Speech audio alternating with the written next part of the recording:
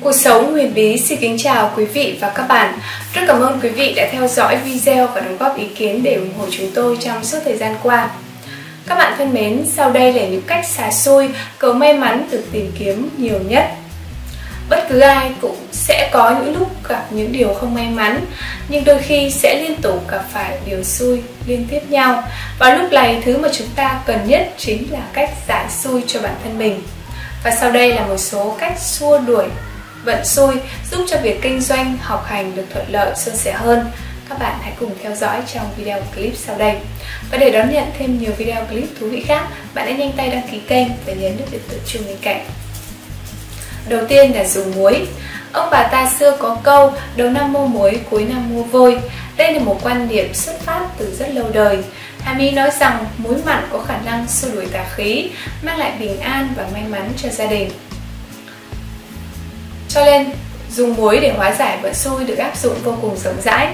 Để xả xui, gia chủ có thể rắc muối ở từng phòng, xung quanh sân nhà, trước khu vực cửa để xua đuổi tà khí, đồng thời đón nhận nhiều may mắn. Ngoài ra thì các bạn cũng có thể thoát khỏi vận xui bằng cách cầm trong tay một nắm muối, sau đó lém chúng qua vai trái của mình. Nhưng lưu ý là phải lém qua vai trái, vì nếu mà nhầm lẫn, lém muối qua vai phải, vận xui sẽ đến gấp đôi. Thứ hai là thắp hương.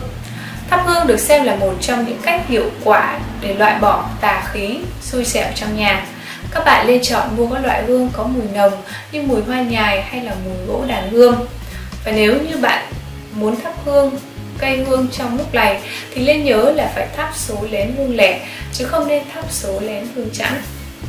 Thứ ba, đem theo bùa bên mình. Trong cuộc sống hàng ngày, khi mà gặp phải những điều xui xẻo không mong muốn thì bùa bảo vệ là một vật không thể thiếu. Các bạn hoàn toàn có thể treo bùa ở vòng tay, vòng cổ, điện thoại hoặc cũng có thể bỏ vào trong túi áo, túi quần. Một vài loại bùa phổ biến được mọi người sử dụng nhiều nhất.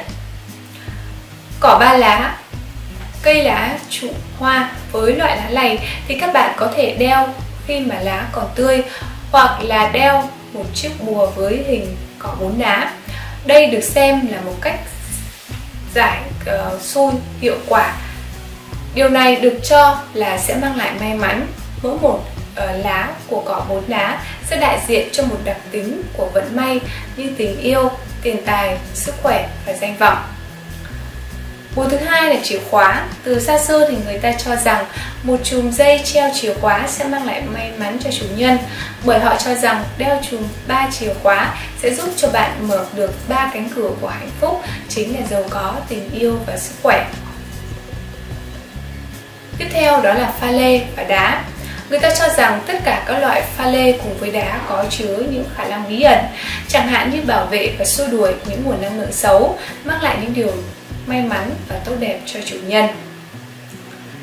Đá Smolile sẽ giúp cho bạn không bị ảnh hưởng bởi tà khí u ám, chẳng hạn như một lời nguyền rủa ác ý từ người khác.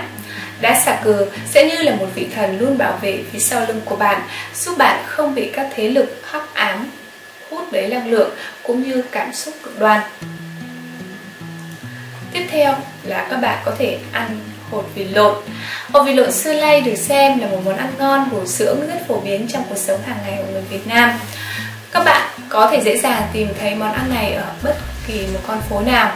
Theo như quan điểm của ông bà truyền lại thì trứng vịt lộn là một món ăn sử dụng để xả xui và giúp mang lại vận may rất là hữu hiệu.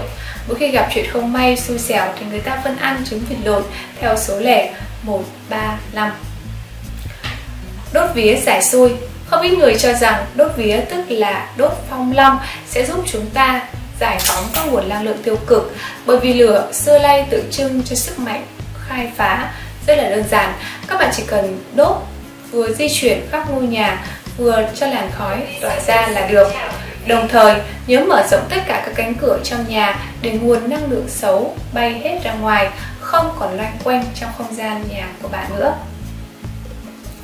Hy vọng rằng với những cách xả xui tuyệt vời và dễ thực hiện trên, các bạn cũng có cho mình những giải pháp rất là hữu hiệu trong việc xua đi những điều xui xẻo quanh mình.